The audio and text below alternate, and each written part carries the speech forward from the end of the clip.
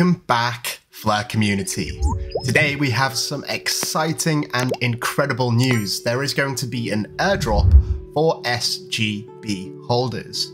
So if you are a holder of the Songbird token, you will soon receive an airdrop from Pangolin, which is a decentralized exchange due to launch in the very near future. So what we're going to do is have a quick peek at a clip from Thinking Crypto's recent interview with Hugo Philion and Justin Trollope. Now, the thing is, when we actually announced that, a lot of people said, well, what about Songbird people? What about Flare people? And we actually thought that's actually a very valid question, right? We want to come into this community and we want to be good citizens within this community.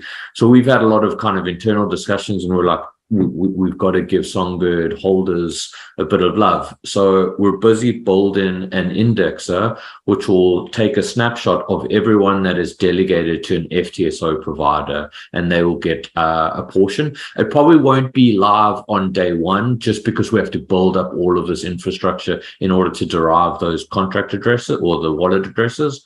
But we do want to get, we, we will be giving Songbird holders an edge. And there we have it. Obviously, Justin said that this is not going to be distributed initially. We're going to have to give it some time for the developers to write the smart contracts to actually distribute it, but still, very good news, and I am sure you will agree. I'm going to leave a link below for the full interview. I would highly recommend it. Lots of great information in there. And that's it. Very short and sweet today. Thank you all so much for watching. And until next time, I'm out. Mission control, we have liftoff.